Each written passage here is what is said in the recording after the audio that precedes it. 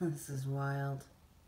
I'm telling you, I'm hearing archangels, and I don't, again, I trust what I'm hearing. Archangels. Look at the face coming out of that.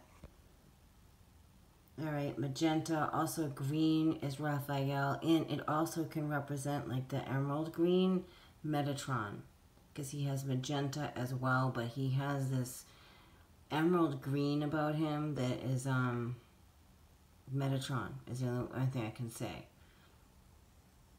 I'm hearing angels.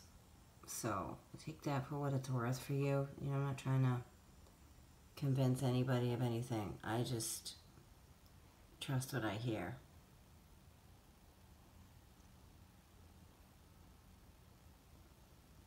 Yep. That's the when the volcano first blew, I think, at 1559.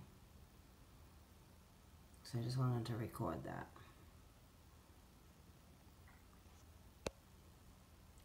And there, and I'm hearing Metatron specifically.